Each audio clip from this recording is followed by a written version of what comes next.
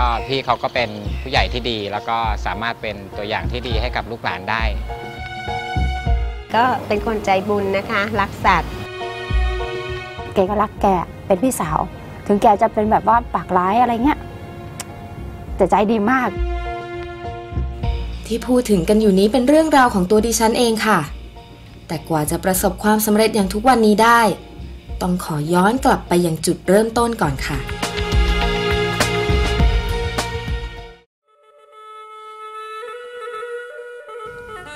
ในวัยเด็กดิฉันใช้ชีวิตอยู่ที่สิงห์บุรี มีเงื่อนไขในชีวิตที่หลีกเลี่ยงไม่ได้คือความยากจน เงินไม่มีเรียนต่อ ได้แต่อยู่ไปวันๆแต่เชื่อเสมอค่ะว่าความแรนแค้นไม่ใช่ข้ออ้างในการหยุดตัวเองไว้ที่นี่ ดิฉันจึงออกไปค้นหาอนาคต ด้วยสองมือสองเท้าของตัวเองตอนอายุได้ 13 ปี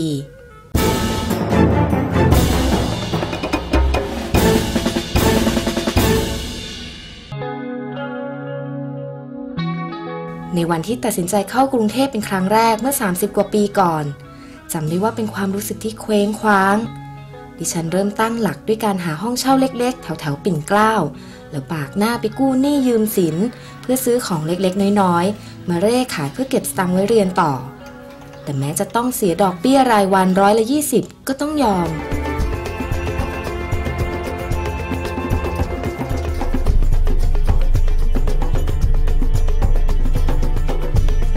เอาเข้าจริงๆแล้ว ชีวิตในเมืองก็ไม่ได้สวยงามอย่างที่คิด ของที่ขายก็ไม่ได้มีรายได้เป็นกอบเป็นกำแต่ด้วยความหวัง ดิฉันยังสู้ต่อไป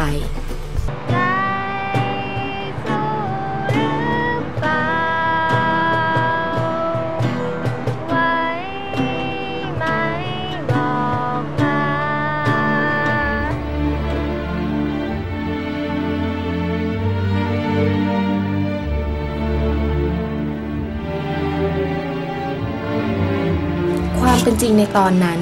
แทบทำให้ดิฉันสิ้นหวัง เพราะแม้จะออกไปขายของวันแล้ววันเล่า ก็ยังไม่พอข้าวเช่าบ้าน และเงินกู้ที่ไปหยิบยืมเขามา ดีแล้วหล่อนมาก็ดีแล้ว ฉันน่ะมารอหล่อนอยู่หลายวันแล้ว เรื่องเงินกู้ของฉันอะจะว่ายังไง นี่มันก็นานแล้วนะ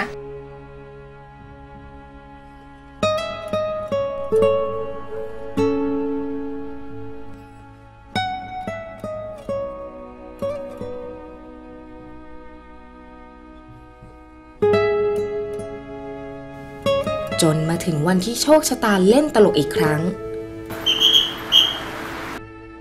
ของก็ขายไม่ได้แล้ว กลับมาห้องเช่ายังโดนยึดคืนอีก ไหนจะจดหมายที่แม่บอกว่าพ่อป่วยเป็นโรคหัวใจจำเป็นต้องใช้เงินสักก้อนหนึ่ง ในใจได้แต่คิดว่า ดิฉันควรจะทำยังไงกับชีวิตต่อไปดี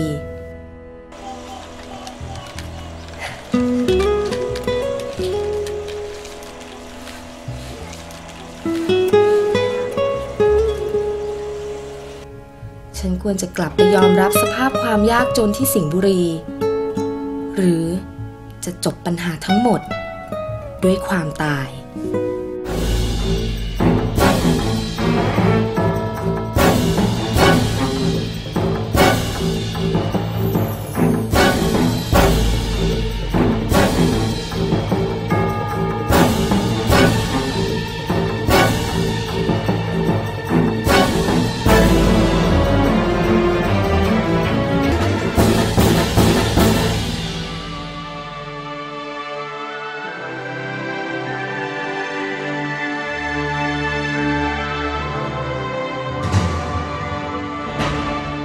แต่ในวินาทีสุดท้าย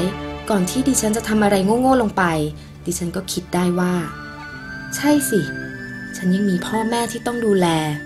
จะมาจบชีวิตไว้ที่นี่ไม่ได้ ในเมื่อเรายังมีสองเท้าที่ต้องก้าวต่อไป เรายังมีสองมือที่จะไขว่คว้าหาอนาคต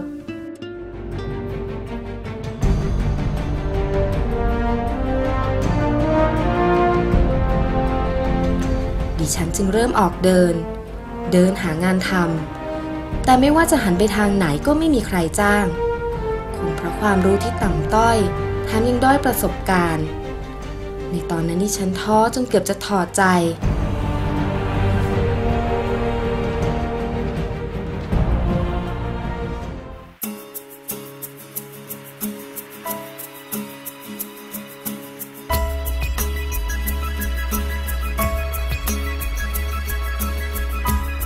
แต่แล้วโชคก็เข้าข้างดิฉันค่ะ วันหนึ่งในขณะที่เดินหางานอยู่นั้น ก็เห็นป้ายรับสมัครงานของ CP ที่ในภายหลังก็กลายมาเป็นบ้านหลังใหม่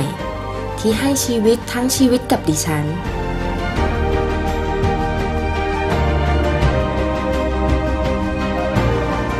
และที่บ้านหลังใหม่นี้เองที่เปลี่ยนชีวิตของดิฉันให้มีความหมาย ที่บ้านหลังนี้เต็มไปด้วยความแปลกใหม่ สิ่งท้าทายทำให้ได้เรียนรู้ ลองผิดลองถูกกับชีวิตการเป็นพนักงานขาย ที่เรียกกันว่า PC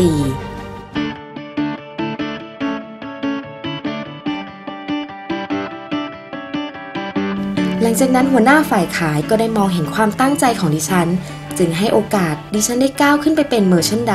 ที่ต้องมีความรับผิดชอบสาขาเพิ่มมากขึ้น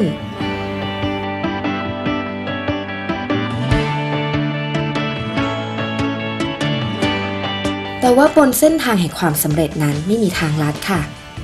ในตอนนั้นดิฉันยังไม่มีเทคนิคในการขาย อย่างการสร้างความคุ้นเคยกับลูกค้า ความรู้ในตัวสินค้าก็ยังน้อยอยู่ หรือการแนะนำโปรโมชั่นทำให้ออเดอร์ยังไม่ได้ตามเป้า เล่นเอาเครียดไปหลายเดือน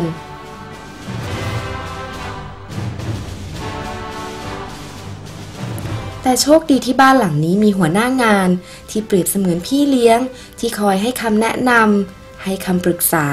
และให้กำลังใจทำให้ดิฉันลุกขึ้นมาสู้อีกสักตั้ง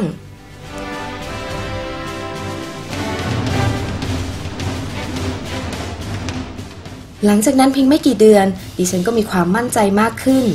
กล้าที่จะทักทายลูกค้า เริ่มแนะนำสินค้าขายดีของเรา ก็เลยมีลูกค้าประจำมากขึ้น และดิฉันก็เรียนรู้ที่จะไล่ตัวเลขยอดขายในแต่ละวัน เพื่อให้รู้ว่าต้องขายอีกเท่าไหร่ ถึงจะปิดเป้าได้สำเร็จในทุกๆ สาขาที่ดิฉันดูแล พอรู้เทคนิค อะไรๆก็สนุก ดิฉันก็เริ่มสนุกไปกับการพิชิตเป้าและทำให้ยอดขายโตขึ้นโตขึ้น และในช่วงนี้เองค่ะ ที่ทำให้ดิฉันมีรายได้เก็บออมเต็มเม็ดเต็มหน่วย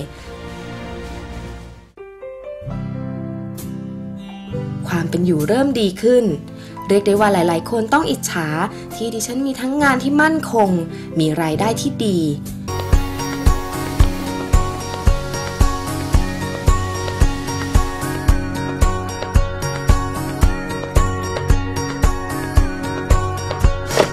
จากตรงนี้ดิฉันใช้เวลาเพียง 4 ปี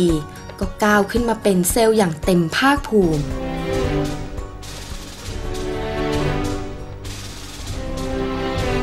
แต่ในวันที่ก้าวขึ้นมาเป็นหัวหน้าเขตขาย ก็มีความกดดันใหม่เกิดขึ้นไม่น้อย กับหน้าที่ใหม่ที่ได้รับ ซึ่งบวกพ่วงมากับความรับผิดชอบที่ต้องดูแลลูกน้องอีกหลายชีวิต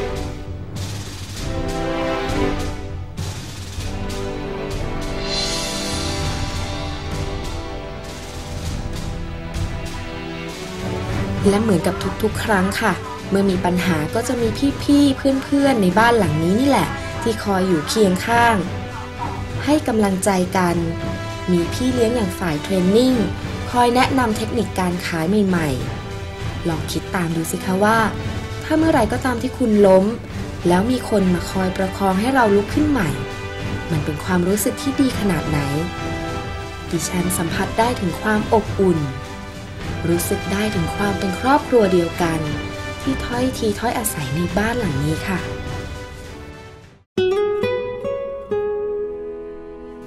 กว่า 20 ปีที่อยู่ในบ้านหลังนี้ ดิฉันมีความสุขในทุกๆวัน เพราะบ้านหลังนี้มีแต่ให้ ให้ชีวิตทั้งชีวิตกับดิฉัน ทั้งให้โอกาส ให้ความรู้ ให้ความมั่นคง ให้ความเป็นครอบครัวที่แสนจะอบอุ่น ให้มากกว่าที่เคยคาดคิดไว้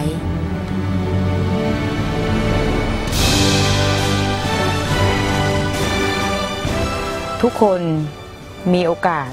ที่จะอยู่ตรงนี้ เราเป็นครอบครัวที่เติบโตมาด้วยกัน พร้อมที่จะให้สิ่งดีๆ เกิดขึ้นในบ้านของพวกเรา ที่ทำงานแห่งนี้เปรียบเสมือนอบ้านของเรา เพราะว่าเราทำงานแล้ว เรามีความสุขกับงานซีบีให้โอกาสเรานะคะแล้วก็ให้ความอบอุ่นนะที่อยากจะส่งให้น้องๆรุ่นหลังได้เปรียบเสมือนที่พี่ เป็นอยู่ทุกวันนี้